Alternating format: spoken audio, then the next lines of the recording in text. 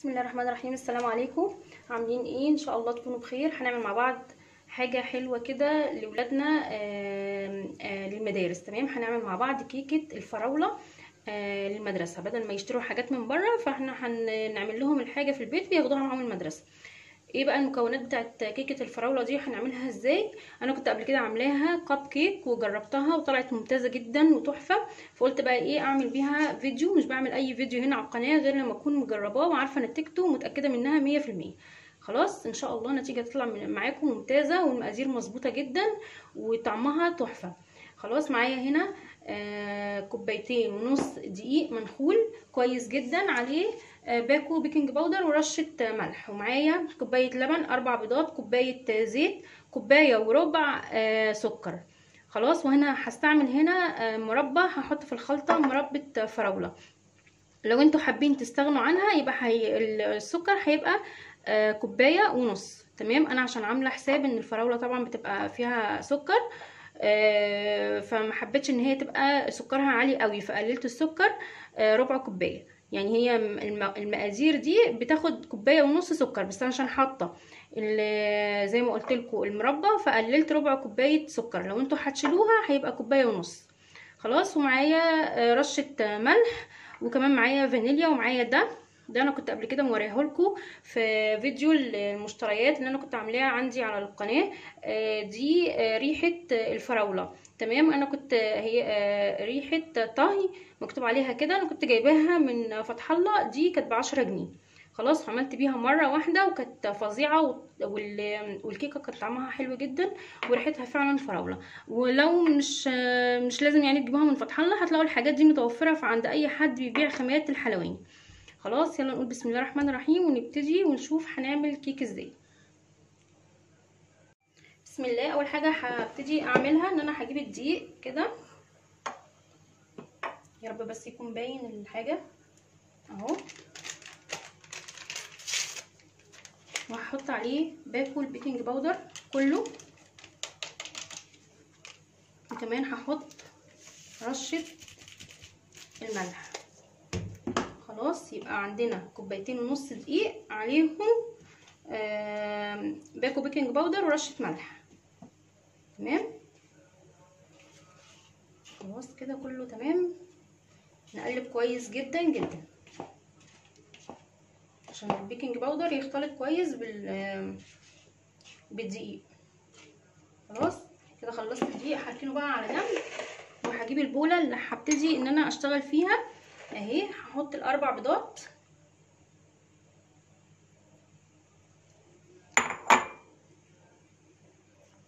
على فكرة أنا نسيت حاجة مهمة جدا في في المقادير اللي نسيت احطها هي الخل هحط معلقة كبيرة خل. الخل ده ضروري جدا في الكيكة. نحط معلقة كبيرة كده. تمام؟ وهنحط كمان الفانيليا.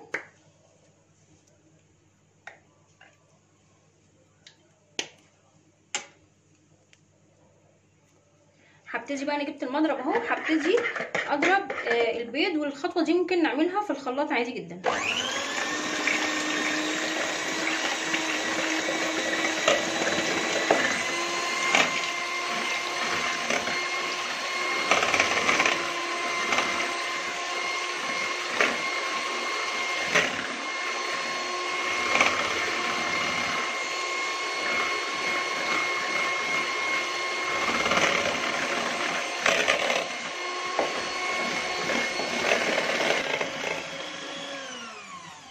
خلاص اهو ضربت البيض شايفين بقى يعني هو باين اهو ان هو قوامه ولونه اتغير. هبتدي بقى أحط السكر شوية آه بشوية كده. واضرب برضو لحد ما اخلص الكمية كلها بس أحط شوية بشوية.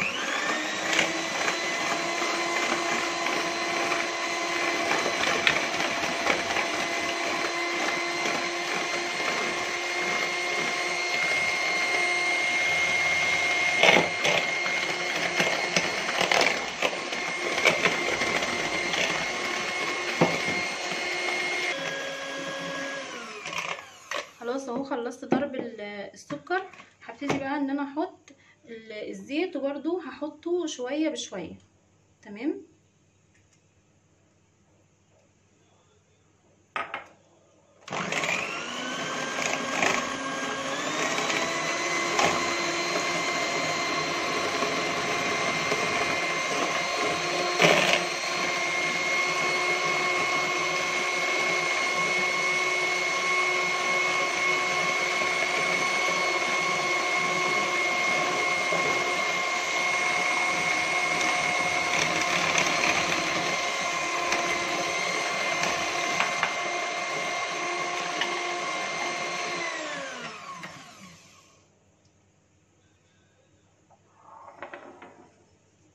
دلوقتي بقى هحط اللبن.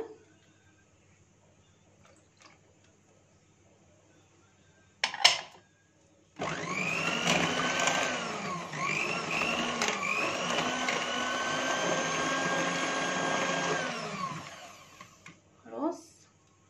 هحط دلوقتي الريحة اللي أنا قلت لكم عليها أو طعم الفراولة. هحط منها بصوا أنا أول ما فتحت الإزازة ريحتها تحفة. خلاص هحط منها معلقة كبيرة كده. تمام؟ ريحتها هايلة ريحتها جميلة جدا.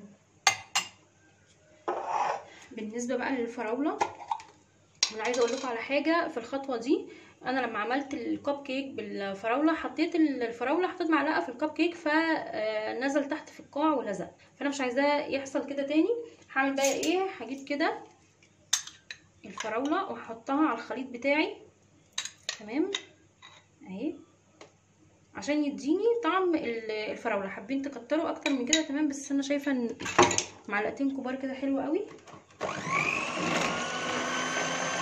هخلط كله مع بعض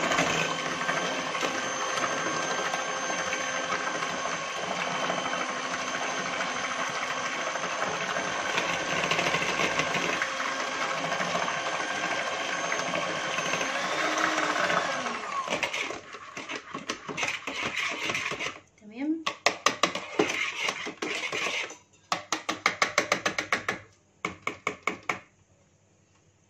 خلاص اهي. خلاص كده أنا خلطت كل المكونات اللي عندي. فاضل فاضل بقى آخر خطوة اللي هي آه هنضيف فيها الدقيق. تمام؟ هننزل بقى كده معلقة معلقة أو معلقتين بالراحة خالص وعلى أول سرعة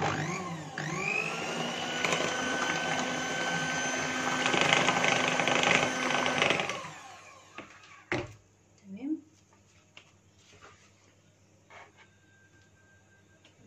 ممكن يعني على مرتين أو ثلاثة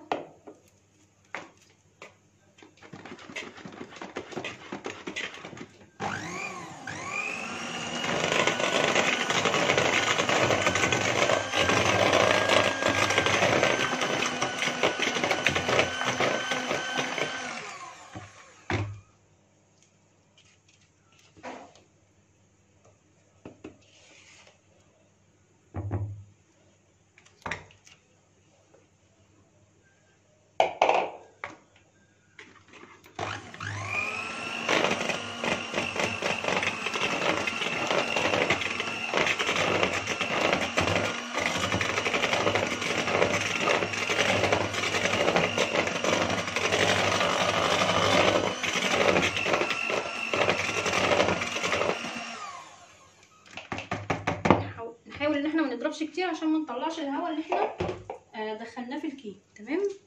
نجيب بقى المعلقة ونساوي كده. نديها برده تقليب علشان كل ده ينزل. وبرده بالراحة.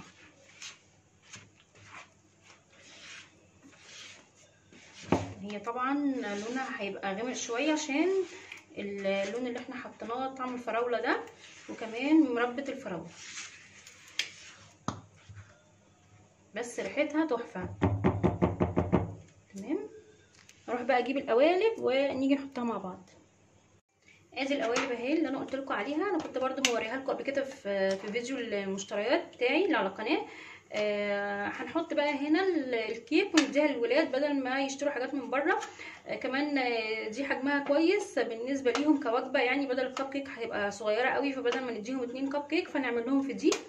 خلاص أنا عملته معاملة الصينية عادي وحطيت فيه يعني جبت منديل وحطيت فيه زيت ومسحته. خلاص؟ هبتدي بقى إن أنا أحط الكيك. ما نملهاش على الآخر. يعني نصها. خلاص؟ أو تلتينها. لازم نخلي فيه مسافة علشان الكيك ياخد راحته ويعلى براحته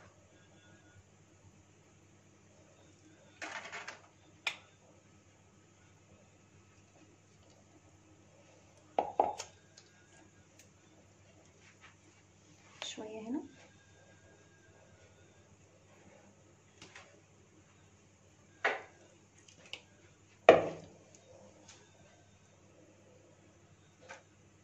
شايفين الفراولة والله ريحتها تحفة ريحتها جميلة جدا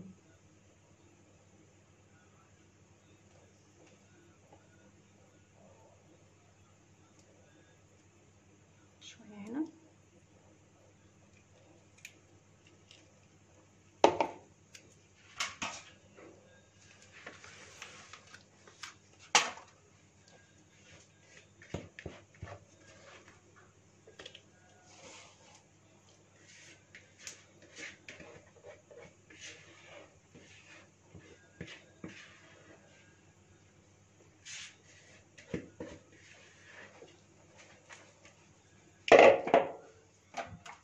دول اخر شوية.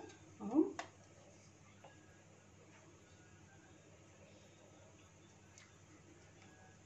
طبعا اول أنا أول ما ما ابتديت الوصفة أنا ولعت الفرن زي ما بقول لكم على طول في لما باجي أعمل أي كيك أول ما ببتدي أشتغل في في الكيك على طول بولع الفرن وأسخنه.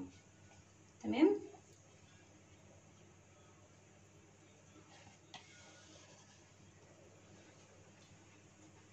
خلاص عملوا لي اهو آه ست قوالب حجمهم حلو جدا. تمام؟ هحطهم بقى في صينية مش هدخلهم الفرن كده هحطهم في في صاج عندي. تمام؟ وهدخلهم الفرن زي ما هما كده لحد ما يستووا. مش هفتح عليهم هتعامل معاهم عادي جدا كأني بعمل صينية كيك عادي جدا.